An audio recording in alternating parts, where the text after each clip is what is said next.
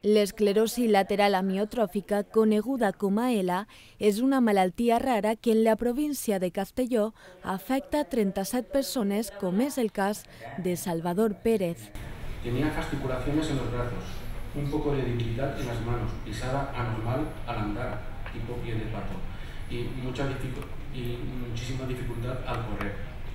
Todos ellos relacionados con pérdida de fuerza muscular en brazos, piernas, manos y pies.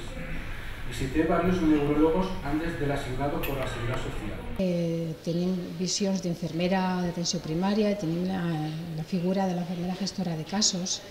En els puestos on tenim infermeres gestores de casos, automàticament són les referents d'estos pacients i d'estes famílies.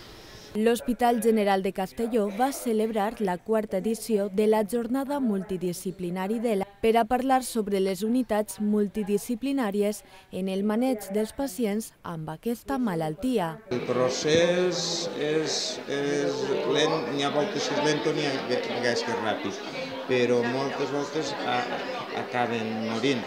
Però lo important crec que radica és en el, en el que este equipo multidisciplinar ayude a este tipo de pacientes y que el paciente cuando necesite algo, pues eh, necesita la seva ajuda, pues contacta telefònicament i, i presencial. Tinguin una vida, una qualitat de vida bona.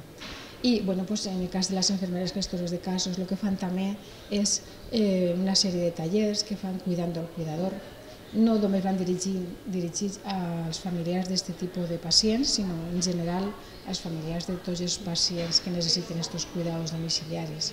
Es tracta d'una malaltia que incapacita a l'afectat, que requereix més necessitats i suport per part de la família, l'àmbit sociosanitari i inclús de treballadors socials. Cal destacar que des de 2011 aquest hospital va ser el primer en posar en marxa el pla multidisciplinari en la comunitat valenciana. Jo m'encarreguo un poc de coordinar les consultes, de posar-me en contacte amb els seus especialistes si precisen com qualsevol canvi i després fer un seguiment telefònic. Este hospital pues, eh, va ser el primer hospital que va ficar en marxa l'equip multidisciplinar per al seguiment i cuidados d'esta malaltia en la comunitat valenciana. Eh, L'equip d'atenció primària també és un equip eh, que forma part d'aquest equip multidisciplinar. Des de l'equip d'atenció primària, nosaltres som els primers que detectem aquests pacients. Una jornada en què de nou professionals sanitaris i afectats per l'ELA van debatre sobre tot allò que es desconeix d'aquesta malaltia degenerativa i desconeguda per la societat.